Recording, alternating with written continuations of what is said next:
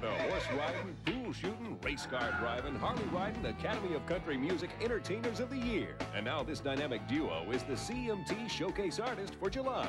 Take a look at what you'll see this weekend. On CMT Showcase. There's 24 cars on the track. I'm going into a turn and wham, I get hit out blindsided from the left. I look over on the right, Ronnie's upside down going down the asphalt. Turn on to CMT Showcase featuring Brooks and Dunn all this weekend.